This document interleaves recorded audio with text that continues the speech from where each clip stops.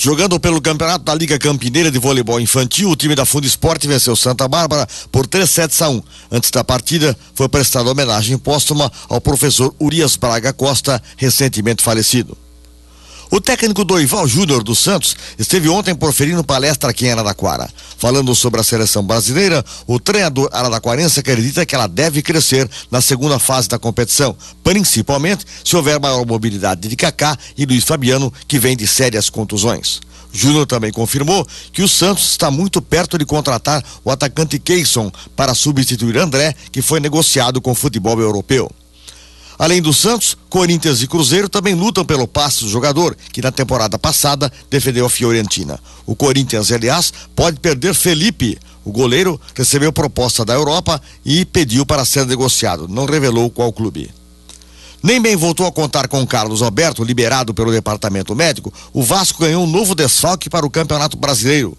O meia Kaique sofreu no treino de ontem uma ruptura no ligamento cruzado anterior do joelho direito. O jogador será operado agora pela manhã e ficará seis meses afastado do futebol.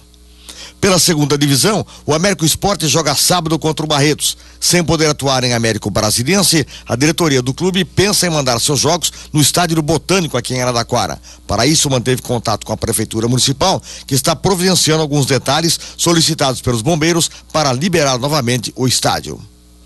A precoce eliminação francesa do Mundial continua causando estragos nacionais. O presidente da França anunciou uma profunda reformulação no esporte do país e determinou que não seja paga nenhuma premiação aos jogadores que, segundo ele, desonraram a camisa da seleção pelo mau comportamento dentro e fora de campo. Se a moda pega, e mais uma vez a seleção do Brasil foi impedida de reconhecer o gramado onde irá atuar amanhã em Durban. O Brasil treinou em outro local e novamente com portões fechados. Elano continua em recuperação, sentindo dores, não deve jogar. Em seu lugar entrou Daniel Alves. Júlio Batista deve ocupar a vaga de Kaká na partida de amanhã contra Portugal. Portanto, sem surpresas.